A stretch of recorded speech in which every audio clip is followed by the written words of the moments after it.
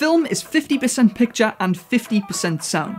But the sound of your film is not just there to simply complement the picture. When harnessed correctly, it's a powerful tool to drive the plot and help deliver the story in a really creative way. Today, we're going to talk about how you can use creative sound design with dialogue to make your film more unique and immersive. Welcome to the Film Look. Here's a thanks to Premium Beat for sponsoring today's episode. We recommend you check them out whenever you need a great track for your next film. Why don't you visit their royalty free library to see what we mean? And we've added a link in the description below. Dialogue is self explanatory. It's a conversation between two or more people, and it is also the sound that delivers that conversation. In film, dialogue should be clear, loud, and audible so the audience can understand what the characters are saying throughout the film. But this rule doesn't always apply. A really simple and creative sound design technique is the manipulation of dialogue. Let's use one of our films Backstage as an example. I've altered the scene to help this concept. The medium is lecturing the fly swatter, but the fly swatter is so preoccupied that he is completely zoned out of the scene. If you want to watch Backstage, you can actually find it right here. This is the scene we are now working with. You have two choices, Jackie boy.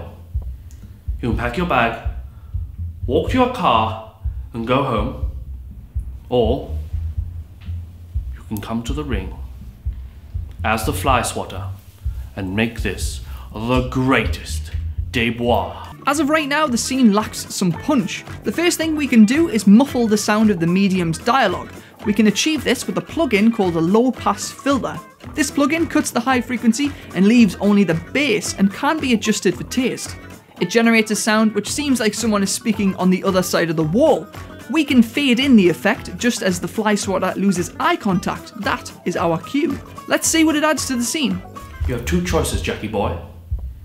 You can pack your bag, walk to your car, and go home, or you can come to the ring as the fly swatter and make this the great debut.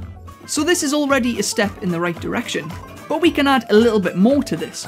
Classic sound effect we can add to this shot is a shell-shocked buzzing tone. We can add that in and slowly raise the volume to emphasize the moment even further. Let's have a listen. You have two choices, Jackie boy. You can pack your bag, walk to your car,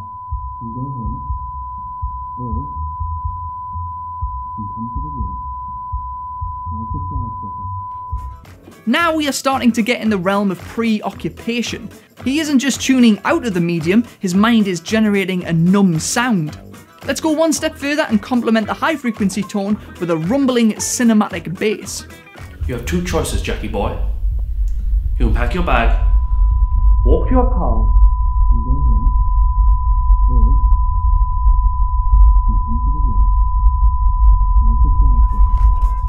And the last thing we can do to help smooth out the cut to the next scene is grabbing a cinematic impact sound effect, reversing it, and placing it at the end of the sound as a crescendo.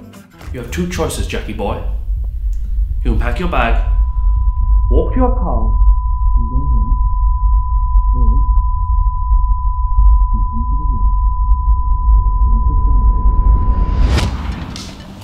Something as simple as dialogue manipulation and a little bit of layering is a powerful storytelling tool.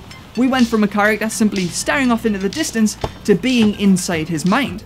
We want the audience to feel what he is experiencing, so by numbing the sound of the medium and adding some uncomfortable noise, it feels like we are really jumping in at the fly swatter's head. If you're new to sound design, it's definitely worth catching up with our indie film sound guide you can find right here. If you haven't subscribed yet, you can do that with the orange lens cap just by clicking it, and remember to achieve it one shot at a time.